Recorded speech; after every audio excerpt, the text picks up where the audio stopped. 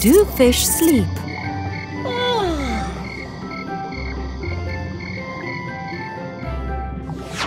Imagine a fish swims all day long.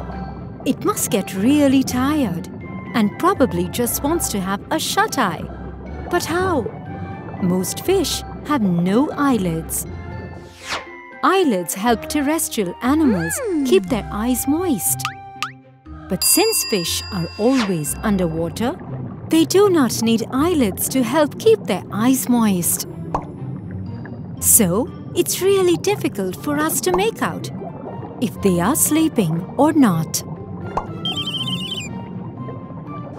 So, if fish don't have eyelids, does this mean they do not sleep?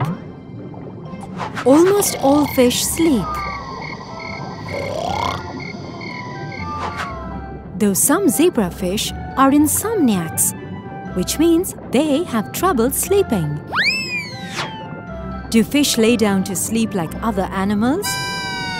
Since fish live in an environment unlike ours, laying down and sleeping like humans can be dangerous.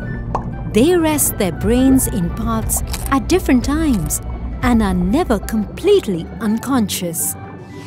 How do fish sleep? Some fish, like the shark, keep swimming in their sleep. Tuna fish rest motionless at night, suspended in the water. Bass or perch will sleep under or on top of logs.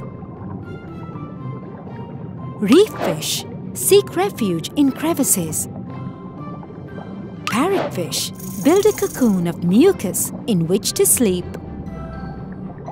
Why is sleep and resting our body so important? If we do not hmm. sleep properly, we will always be tired, cranky, and unhappy. This is because when we sleep, the body also gets a chance to clean itself of waste and other byproducts of cell functions within our bodies. So, fish also need to sleep so that they can repair their cells and also conserve their energy. Hmm.